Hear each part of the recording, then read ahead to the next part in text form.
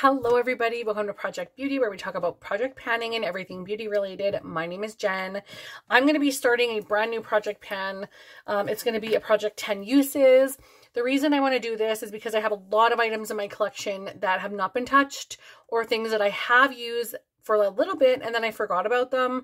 So I just want to bring in five things to start and I'll just switch them out as I go so I don't get super overwhelmed with all the other projects that I have going on. But I will let you know that once I use the product for those 10 uses, I might be doing a review on that individual product by itself in a separate video later, but I'll also give a mini review once I've used the product in here just so you guys know what I think. So um, I want to introduce you guys to these items that I am using. Every single one of these, I shouldn't say every single one. All of these are brand new items. I've only used one. So the first item I have is the one that I've actually used. And I have the light version on today, but this is the fair version.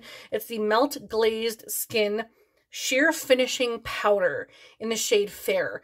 So that is the Glazed Skin Sheer Finishing Powder. There's 9.5 grams of product in this. And I found this through, I want to say it was Johnny Ross. He was decluttering his um, powder collection loose and, and pressed. And this product came up and he said it was fantastic. It does come with a full-size mirror. I'm going to be outside the box today and I'm going to take this off. Ruth, that's for you. if you're watching, I never take that off. I never take that off of my products. So that was a big deal for me. I don't know why I do that. But anyhow, this is what the product looks like. It is a finishing powder like it says in the description. And basically you do your full makeup and then you just dust this over top and it gives you that sheer glow. And it's a lot like obviously a glowy loose finishing powder like you could get from Hourglass or whatever, but they also have those baked ones. This I don't believe is baked. I think it's just pressed. So um, I'll swatch it for you here. So this is what it, it looks like a, a stark highlighter, honestly, but you're not going to put it on your face like that. So I will swatch it for you here. So when you blend it out, it's still going to look, because I put a lot of, on my finger, but when you blend it out, it just looks like this nice glow on your skin. Like it's just the most beautiful dusting and glow on your skin. And yeah, I'm sorry I have sunspots and stuff on my hand. I'm getting older, okay? I'm getting older. Disregard the sunspots, okay? She's getting old. Um, yeah, so we're just going to not talk about that. but this product is absolutely fantastic. It's wonderful. Um, I have used it a couple times. I have both the fair and the light shade. I should show you the light shade now. I'm not going to go into um, more depth or whatever on these two right now, but I will tell you that I do love the way that they look. So this is the fair and this is the light. So you can see there is a little bit of a, a depth change, but um, I really truly do like these. I have light on today because I've put a lot of bronzer on, so I wanted to hint more color.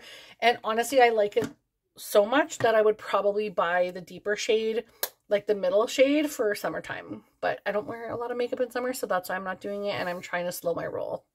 So that's the first item that I'm going to be trying for product 10 uses. I've only used it like maybe two times of the fair one and once of the light one. And I just want to kind of see how it wears, how it feels, all that kind of stuff.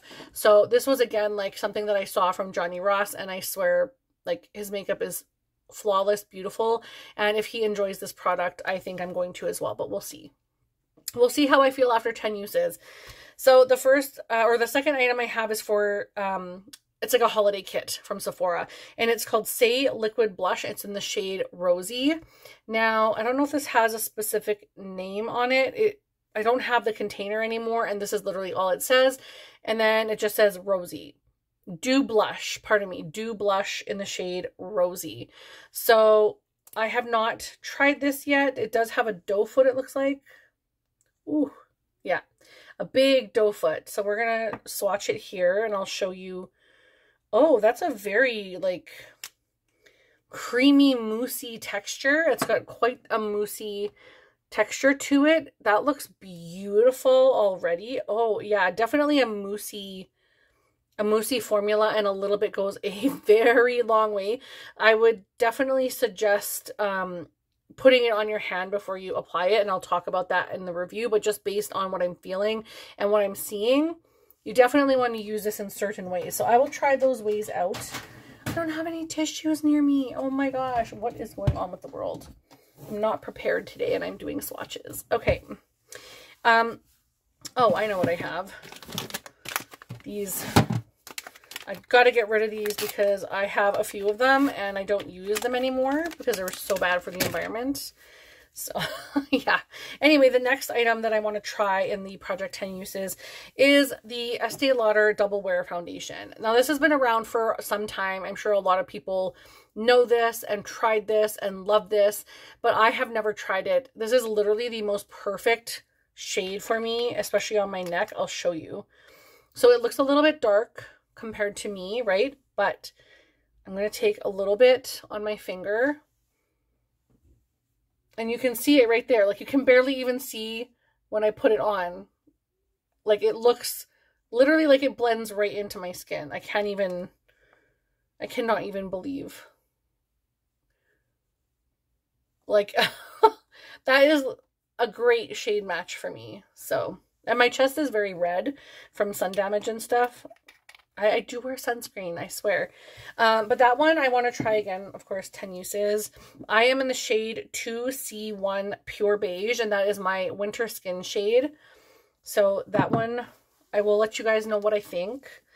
Um, the next one is One Size, and it is a Turn Up the Base versatile foundation powder and it's in the shade medium 4G and I think this is a great shade for me right now. Can we just first of all talk about the gorgeous packaging?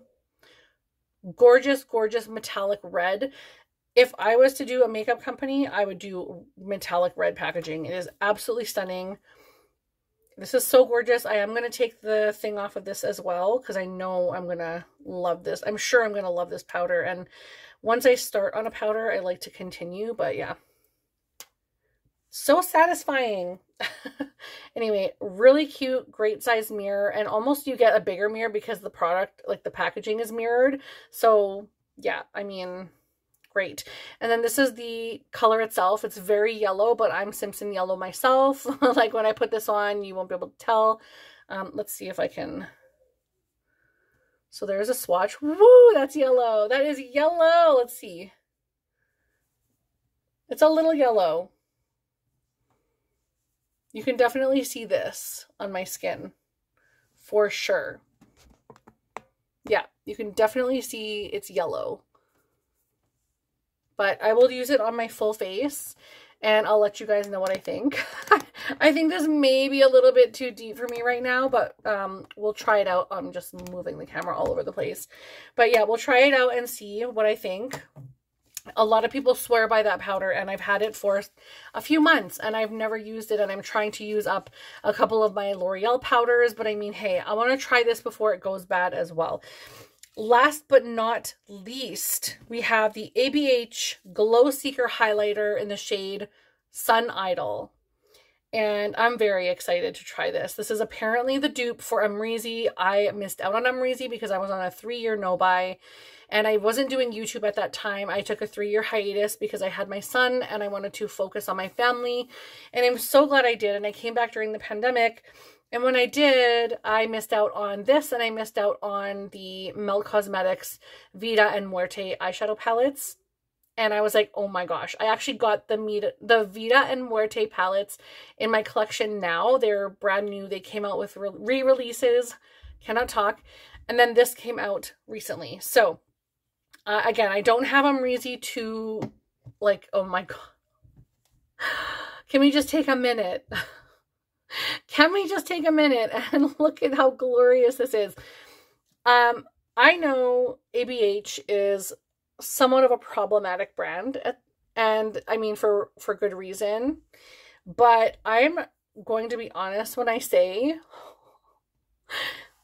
I do love a lot of their products. I'm not gonna lie. I love their pro pigment palettes. I love their brow, like the brow products alone.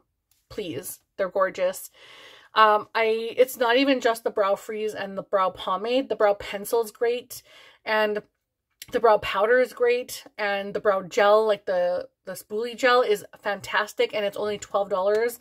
I'm not trying to like push a brand on anybody, but I'm to say they have fantastic, fantastic products.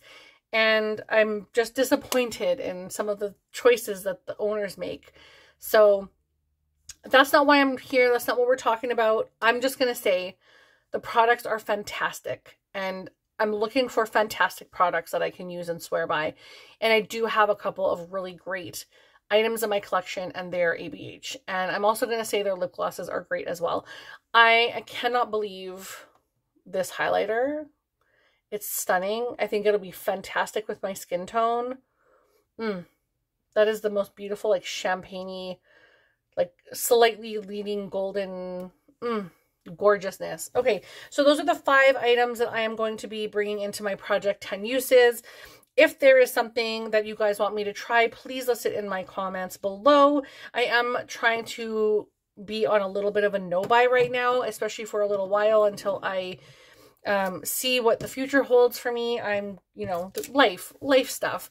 So I just have to wait for a little bit to see. But if there is something that you guys want me to try and I do need to replace another item at some point, I will try some new things. So let me know in the comments of things that you want me to try and test out for you. And maybe I have it in my collection. An inventory video or videos will be coming up probably in December. I'm going to try and post almost every single day in December if I can. Hopefully. Um, that being said, again, let me know. You guys will be able to see what I have in my collection. This is going to be ongoing, I think, continuously.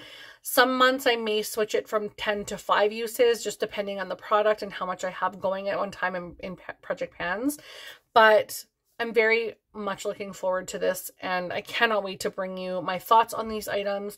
I have a feeling I'm going to want to grab for these now that they're in a project. Um, but in all honesty, I'm just trying to get my thoughts together on how these work and what I feel on these. Also, I would like to see if there's a pump for this because no pump is just so old school for me. Like this is so like when I was a like a child and I would go to my grandma's, this would be like how her makeup came. And I'm like, we are in 2023. Where is the pump? There should automatically be a pump with these products. Like, come on now. So if I have to buy a pump separate, that's just weak. I can't. so we'll see. We'll see how it goes. Um, but thank you guys so much for watching. Don't forget to like the video if you liked it. Let me know down in the comments which items you are excited to see me review and talk to you about. And I will talk to you in the next one. Bye.